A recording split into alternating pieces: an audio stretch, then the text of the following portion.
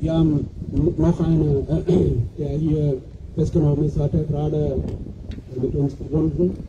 Ähm, der hat auch jetzt gerade gesagt, dass er mitbekommen hat und da hat er sehr herzlich bedankt. Äh, உங்களுடைய பேர் என்ன சொல்ல முடியுமா அஹ், இன்னொரு முறை சொல்லுங்க மதுரசிங்கம் அருள் பதனன் என்கின்ற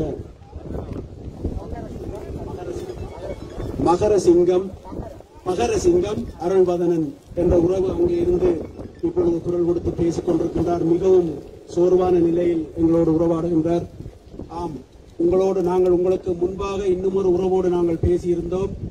அவர் அங்கே உள்ளே இங்கே நாங்கள் அவருக்காக போராடுகின்றோம் என்ற அந்த நிலையில் தான் உடனடியாக இந்த நேரத்தில் இருந்து ஒரு உணவு தவிர்ப்பு போராட்டத்தை தானும் உள்ளே இருந்து ஆரம்பிக்கின்றேன் என்று அறிவித்திருந்தார். எனக்கு எங்களுக்கு தெரியவில்லை நீங்கள் எவ்வாறான ஒரு நிலையில் உள்ளே இருக்கிறீர்கள் ஒருவரை ஒருவர் பேசிக்கொள்ள முடியுமா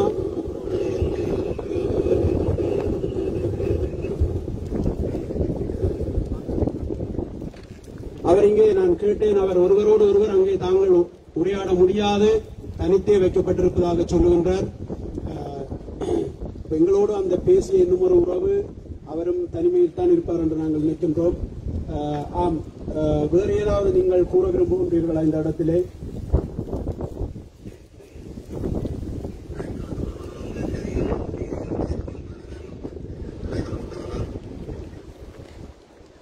அவர் மிகவும் மனமருத்தத்தோடு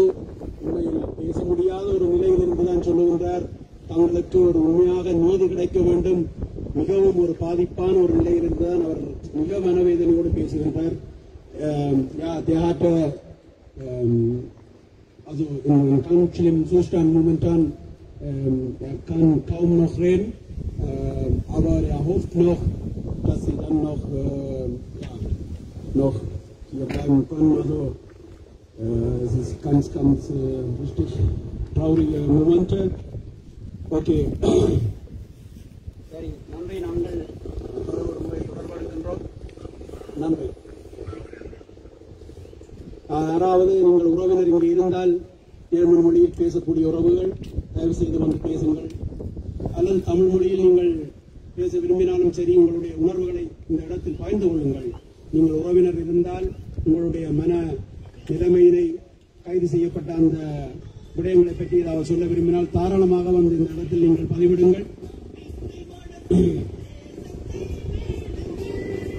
ஆம் இங்கே ஒரு உறவினர். வணக்கம். நீங்கள் அவருடைய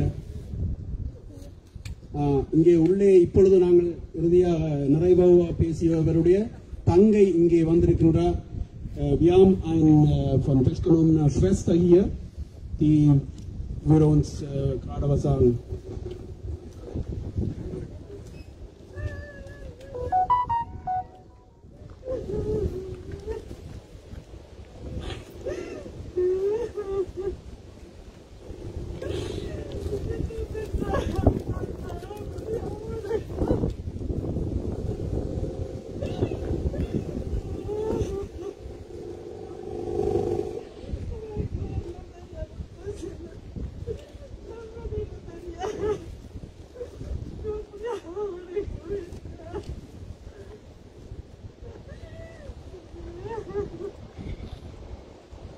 தங்கை அழுதபடி இங்கு நிற்கின்றார் காரணம் அங்கே அவர் ஊரில் மிகவும் ஆபத்தான ஒரு சூழ்நிலைக்குள் இருப்பார் வேறு விடயங்கள் அவர் அஹ், அங்கு சென்றால் மிக ஆபத்தான ஒரு சூழலுக்குள்ளேயே இருப்பார் என்ற ஒரு விடயத்தை அவர் சொல்லுகின்றார் Ja, die weint hier ganze Zeit die Schwester und die weiß ganz genau, ähm, weil er eine sehr gefährliche äh, Situation ist, äh, wenn der dort in Sri Lanka ankommt, das weiß die und wissen die auch, die äh, Familienangehörige, und das, ja, deshalb bietet sie nochmal hier für an, an, alle, an euch, dass er dann äh, hier gestoppt wird, die Abschiebung gestoppt wird. Das ist ihre Hoffnung. Die kann auch nicht viel erzählen, sie. Das ist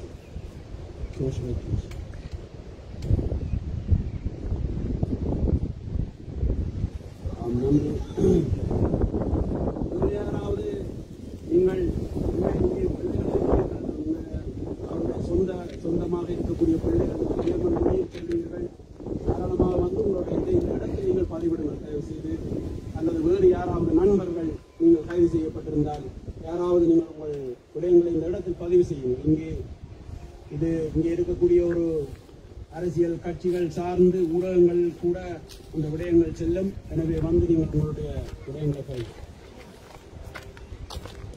ஆமாம்மா.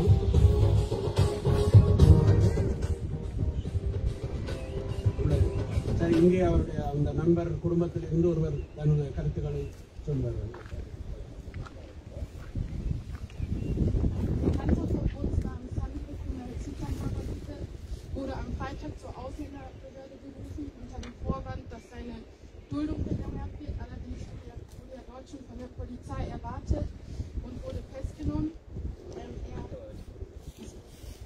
hier in Deutschland ganz normal gearbeitet.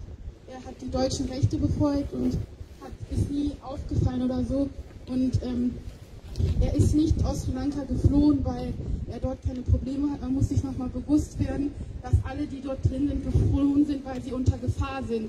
Niemand von denen ist freiwillig nach Deutschland gekommen. Und alle, die dort drin sind, leben jetzt in der Angst, sobald sie zurückkommen, dass ihnen dort was passiert. Sie haben keine Sicherheit, dass wenn sie dort ankommen, dass sie dort in Sicherheit weiterleben können. Und dieser Bekannter von uns ist jeden Tag am Wein jetzt, weil er hat Deutschland vertraut. Er hat nicht gedacht, dass wenn er am Freitag dahin geht, dass die Polizei dort auf ihn wartet. Er hat geglaubt, dass der hier Hilfe bekommt, dass er als Recht, als Mensch Recht hat, hier zu bleiben, weil er in Gefahr ist, dass er ein Recht auf Asyl hat und hat diesem Land vertraut und ist trotzdem dorthin gegangen und er wurde festgenommen.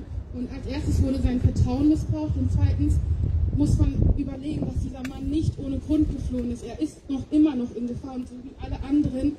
Deswegen müssen wir die anderen, die hier sind, die vielleicht nicht so viel von Sri Lanka wissen, das ist kein, äh, das, die sind keine Flüchtlinge, die einfach so hier rübergekommen sind. Die ha haben Deutschland vertraut und wollen immer noch Hilfe. Deswegen müssen wir nochmal alle zusammen Solidarität für alle Menschen hier zeigen.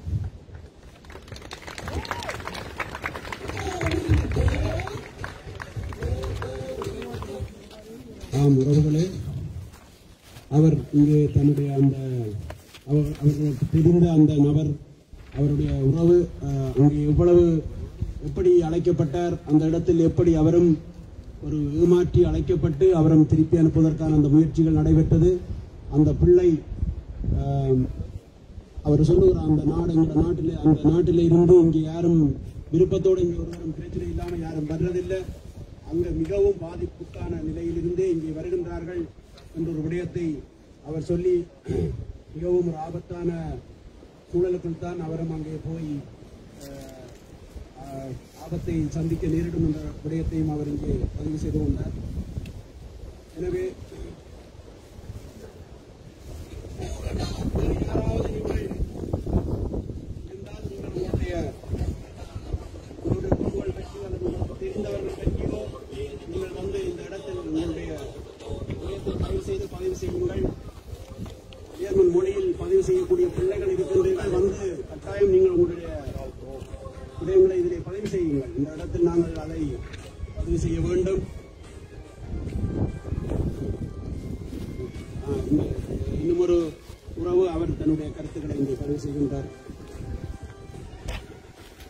உறவுகள் அனைவருக்கும் வணக்கம்.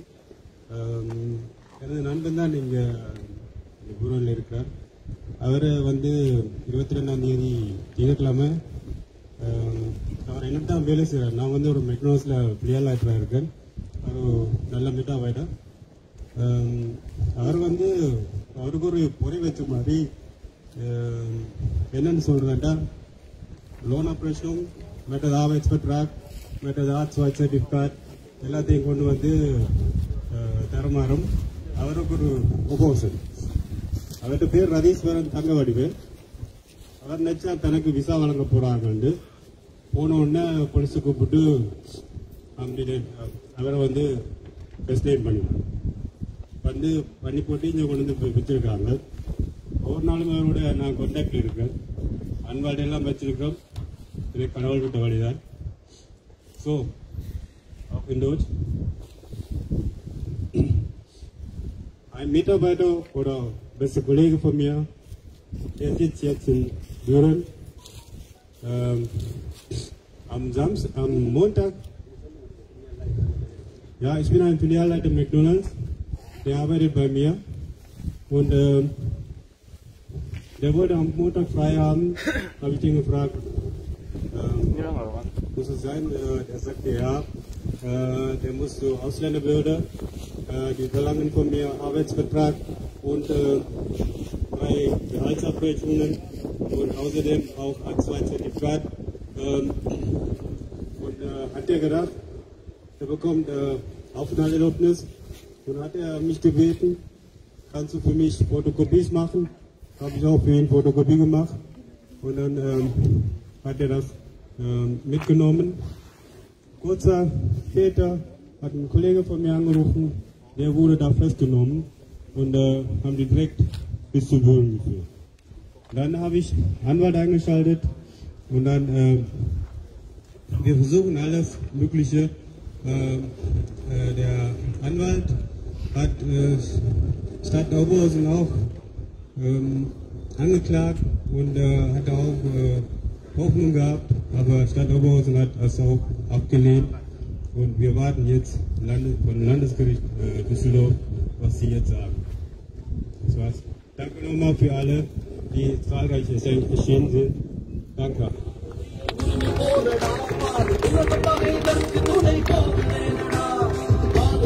அடுத்ததாக இங்கே ஒரு உறவு டோட்முண்டில் இருந்து அவர் இன்டகிராசியோன் பயநாட் டோட்முண்டுக்குள்ளே ஒரு இதில் இருக்கக்கூடிய தமிழர்களோடும் அஹ், நிறையவே தொடர்புகளில் இருந்து பணி செய்கின்ற ஒரு ஒருவர் இங்கே அஹ், ஜெர்மன் மொழியில் உரையாற்ற இருக்கின்றார்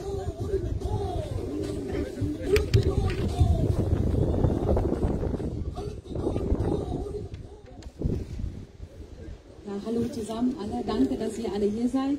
Also, mh, wir möchten gerne sagen, wir als Tamil sind über 60.000 Menschen und sehr viele Tamilen sind hier. Wir leben hier. Wir sind eine anerkannte Bürger. Wir zahlen, wir beachten unsere Rechte.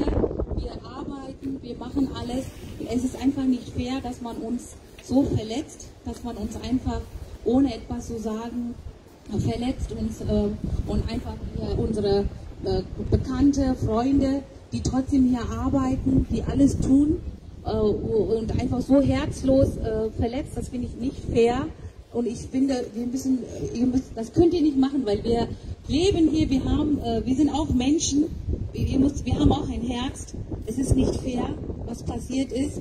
Jeder dieser, äh, die hinter dieser Zäune sind, die arbeiten, die zahlen ihre Rentenversicherung, die beachten ihre Rechte. Und wir haben einen großen Grund, warum wir hier sind. Und ich finde, wir sollten wirklich Solidarität zeigen. Wir, wir möchten einfach, dass diese Menschen einfach freigelassen werden Die sollen auch Visum bekommen, die sollen wirklich hier die Rechte. Wir sind ein sehr, sehr anständiges Volk, Tamilen. Wir werden auf jeden Fall, wenn sie uns die Visum geben, wir werden auch alles tun, uns auch hier als vernünftige Bürger in Deutschland unsere Rechte und Pflichten verfolgen. அஹ் நன்றி அவர்களும் அந்த அஹ், வெளிநாட்டவர்களுக்கான அந்த ஒரு டோட்மெண்டுக்குள்ளே அந்த நகர சபைக்குள் ஒரு அங்கத்தவராக இருக்கக்கூடிய இன்டகிராசியோன் பயராட்டில் இருக்கக்கூடியவர் தமிழர்களோடு பழகக்கூடிய அவர் சொன்னார். நாங்கள் தமிழர்கள் இங்கே இருக்கக்கூடிய சட்டங்களை எப்படி மதிக்கக்கூடியவர்கள் நாங்கள்? நாங்கள் இந்த சட்டங்களை மதித்து ஜெர்மனில் ஒழுங்காக வாழக்கூடிய ஒரு இனமாக இருப்பவர்கள். எங்களின் மீது இப்படி ஒரு ஒரு இதய ஒரு இதயமே அற்ற ஒரு செயல்பாடாக இதை செய்திருப்பதை தாங்கிக் கொள்ள முடியாமல் இருக்கின்றது என்ற ஒரு கருத்தினை அவர் பதிவு செய்திருந்தார். ஏம மொழியில் அவருக்கும் நாங்கள் நன்றி சொல்கின்றோம் யா ähm, das ist für uns alle jetzt momentan für die Tamilen, die hier leben seit viele Jahre, über 40 Jahre leben die Tamilen hier in Deutschland ungefähr. Und äh, wir können überhaupt nicht verstehen. Wir haben 2009 einen Völkermord in Sri Lanka. In unglaublicher Weise haben wir uns betroffen. 150.000 Menschen innerhalb drei Monate dort getötet wurden, gemordet wurden von sri lankischer Terrorstaat. Und dann dafür bis jetzt, bis heute haben wir irgendwie eine Antwort haben wir von internationaler Gemeinschaft nicht bekommen. Gerade von Deutschland. Wir haben ein ganz großes Land hier mitten in Europa, wir haben eine große Erwartung, die Tamilen gehabt. Zwölf Jahre, zwölf Jahre mittlerweile jetzt, seit dieser Völkermord bis heute noch gar nichts passiert für die Tamilen. Aber was tun sie? Was tun sie? Die, die unterstützen diesen Völkermord. In anderer Weise. Die schieben die Tamilen, die dort gefährdet sind, die sollen dort noch ankommen. Wir wissen hundertprozentig, was mit denen passieren kann. Wir haben gerade erlebt, die eigene Schwester, was sie da gerade gesagt hat. Die konnte das nicht offen sagen, was dort passieren kann. Die hat nur geweint, weil sie ganz genau weiß, das war die Momente. Ich glaube, dass es hier in Deutschland 40 Jahre Geschichte für die Tamil. Ich glaube, das ist eine ganz schlimme Geschichte hier in Deutschland. Das kann ich ganz offen sagen. Ganz offen sagen, das ist eine Politik, wo die gerade AfD attackiert wird von der Regierung. Aber das gleiche Politik, ich sage ganz offen heute, das gleiche Politik von AfD hier geführt wird. Für diese Wahl, Bundestagwahl, jetzt im September. Ich kann nicht anders verstehen, weil die wissen ganz genau, wie die Tamilen hier leben. Wir haben in Düsseldorf fast zweieinhalb Monate haben wir Tag und Nacht standen wir damals 2009. Wir haben die Polizei bedankt. Ein Polizeiinspektor in Düsseldorf von dem Präsidium, der hat da geweint 2009. Ich weiß die Momente. Der hat geheult. Der hat gesagt, so eine Bevölkerung hat er noch nie 33 Jahre im Polizeipräsidium gearbeitet. Der hat ganz offen gesagt in Düsseldorf, so wie die Tamilen, obwohl in schweren Situationen, dass ja so, so, solche tamilische Menschen hat er noch nie erlebt. Aber wir sind sehr, sehr verletzt. Und dafür sind wir auch hier in die Politik. Da, damit müssen wir aufstehen. Ja, jetzt, wir kommen ganz langsam zum Schlusswörter. Heute hat ja der Albert Kohl, der ist auch sehr weit gereist hierhin. Der ist ja viele Jahre seitdem, wo die Tamilen hier sind, fast mit uns. Da hat er immer gearbeitet, uns unterstützt. Und wollen wir nochmal einmal ein äh, ja, Schlussre äh, Schlussrede erhalten. இப்பொழுது எங்களுடைய அருட்தந்தை father Albert கோல்ன் அவர்கள் இந்த இடத்தில் எங்களோடு இன்னும் இந்த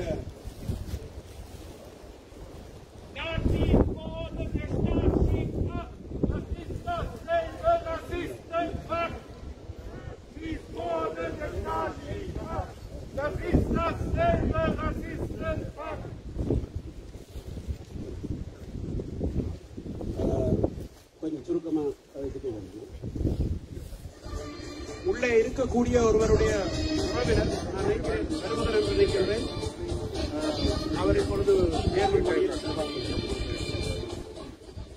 Äh, danke erstmal, dass alle zahlreich erri- äh, erschienen sind. Das ist eine Berichte von der linken Partei. Ja, nachher kommt jetzt auf den Abstimmungstag. Ähm, Erstmal, alle, die dort drinnen sitzen, haben hier Steuern nie gezahlt, waren weder ja, waren hier aus, als Kriegsgefangene und werden jetzt in ein Land geschickt, was 2009 einen solchen Völkermord begangen hat und sind in derselben Regierung. Das heißt, die Menschen gehen jetzt dorthin, und vor denen sie geflüchtet sind. Ist Deutschland ein Land, das das akzeptieren will? Nein. Abschiebung ist Folter, Abschiebung ist Mord.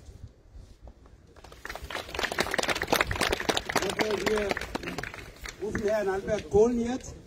Der wird ein paar Wörter noch hier vor uns noch sagen. இப்பொழுது äh, அருட்தந்தை father Albert கோல்ன் அவர்கள் Ja, Liebe Freundinnen und Freunde, das Erste, ähm, was ich jetzt mal so feststellen möchte, von allen Parteien ist eigentlich nur eine einzige hier.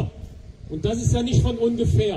Insofern finde ich, können wir uns alle sehr, sehr herzlich für die Solidarität der Linken bedanken.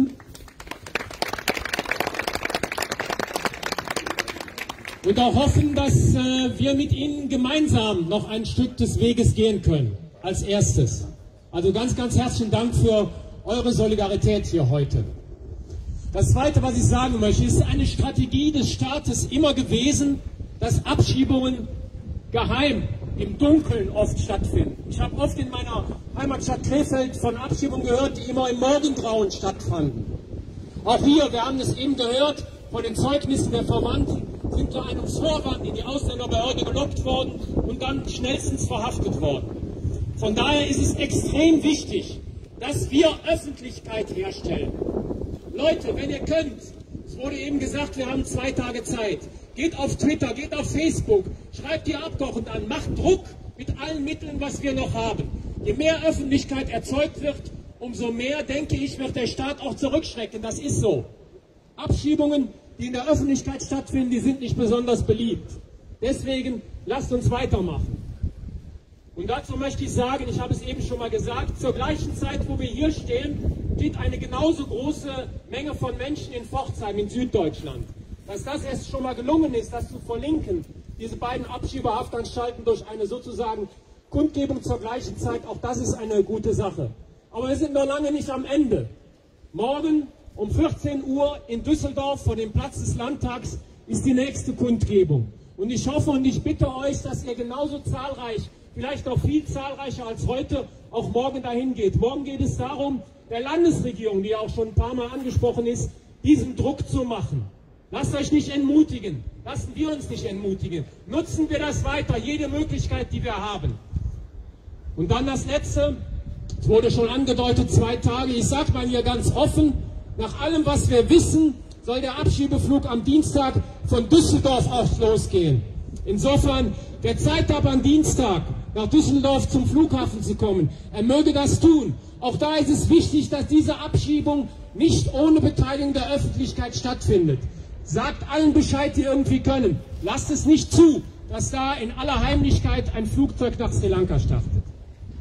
Und ganz zum Schluss möchte ich doch noch eine etwas, ja, vielleicht fast kuriose Sache sagen. Die US-amerikanische Menschenrechtsorganisation Human Rights Watch, die ja nun wirklich nicht eigentlich den Kampf der Tamilen unterstützt hat. Ich habe über Freunde mit dem Direktor heute Morgen Kontakt gehabt und er sagt wörtlich, die US Human Rights Watch is deeply concerned, deeply concerned about this deportation nach Sri Lanka. Selbst Human Rights Watch. Und das will schon was heißen. Also, wir sind nicht alleine, Leute. Lasst uns gemeinsam weiter kämpfen. Lasst uns Deutschland dazu zwingen, dass sie diese und andere Abschiebungen zurücknehmen. Und bleibt alle solidarisch dabei. Vielen Dank. ஆம், அல்பர்ட் அஹ், அறத்தந்தை Albert colon அவர்களுக்கு எமது நன்றிகளை நாங்கள் தெரிவித்துக் கொள்கின்றோம் அவர் சொன்னது போலவே நாளைய போராட்டத்திற்கும் நாங்கள் எங்களுடைய நண்பர்கள் தெரிந்த நண்பர்களுக்கு சொல்லி அங்கு டுசல்டோஃப் மற்றது பேர்லின் உள்துறை அமைச்சகத்துக்கு முன்பாக நடைபெறுகின்ற அந்த போராட்டத்திலும் நாங்கள் நிறைய பேர் கலந்து கொண்டு இதை எவ்வாறு எப்படியாவது தடுப்பதற்கான அந்த முயற்சியை நாங்கள் செய்ய வேண்டும். அதை நாங்கள் செய்வோம் என்று உங்களிடம் கேட்டுக்கொண்டு இப்- இப்பொழுது நாங்கள் இந்த அவருடைய உரையோடு நாங்கள் இந்த உரையினை நாங்கள் நிறைவு செய்கின்றோம். அவர் சொல்லியிருந்தார் எங்களுடைய போராட்டத்தின் மீதோ அல்லது பெரிதாக கரிசனை இல்லாத ஹியூமன் ரைட் வாட்ச் அந்த அமெரிக்காவை சேர்ந்த அந்த மனித உரிமைகள் uh, கண்காணிப்பவும் கூட இதை கடுமையாக அவர்கள் இந்த விஷயத்தை கண்டிக்கிறார்கள். இருந்தால் அங்கு என்ன நடக்கும் என்று அவர்களுக்கும் தெளிவாக வெளிப்படையாக தெரிந்த தெரிந்தபடியா எனவே நாங்கள் தொடர்ந்து போராடுவோம். Um, இங்கே நாங்கள் இன்னும் ஒரு சில கோஷங்களை எழுப்பிவிட்டு நாங்கள் இந்த இன்றைக்கு நாங்கள் இந்த நிகழ்வுகளை நிறைவு செய்ய இருக்கின்றோம்.